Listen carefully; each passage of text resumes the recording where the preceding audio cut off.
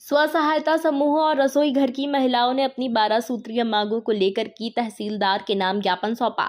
खबर श्योपुर से है, जहाँ आज कराहल ब्लॉक की स्व सहायता समूह की महिलाओं ने तहसील प्रांगण में एकत्रित होकर के अपनी बारह सूत्रीय मांगों को लेकर तहसीलदार के नाम ज्ञापन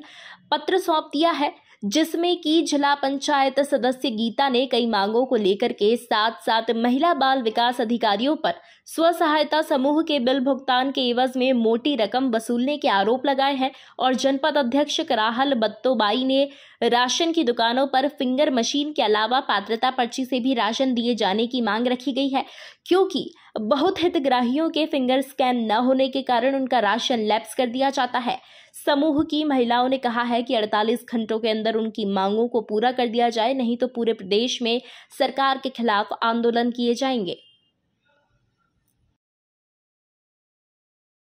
कम है दाना। कैसे दे बच्चों को खाना कैसे दे बच्चों को खाना कैसे दे बच्चों को खाना दो हज़ार में दम नहीं छह हज़ार से कम नहीं दो हज़ार में दो हज़ार से दम नहीं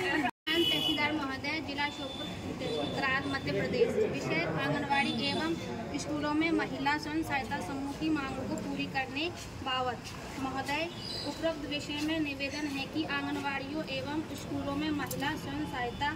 समूह एवं रसोइया द्वारा विगत वर्षों से अपनी मांगों को लेकर ज्ञापन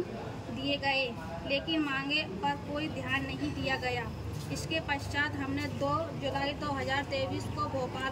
की भेल दशहरा मैदान में लाखों महिलाओं की तादाद में आंदोलन किया। कोई सुनवाई नहीं हुई। हमारा शासन से निवेदन है कि 48 घंटों में हमारी मांगों को प्राथमिकता देते हुए हमारी 12 सूत्री मांगे मानी जाएँ। अन्यथा हम 6 अगस्त से सभी स्वयं सहायता समूह एवं रसोईया बहना प्रदेश के समस्त तहसील मुख्यालय के पास अनिश्चितकालीन अनशन पर बैठेंगी, जिसके जिम्मेदार शासन रहेगा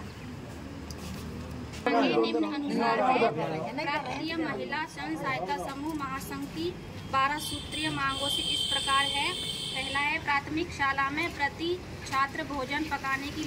लागत दर पाँच पाँच दशमलव पैंतालीस पैसे की जगह दस रुपये बढ़ाया जाए एवं खाद्य दस ग्राम की मात्रा से बढ़ाकर 200 ग्राम किया जाए।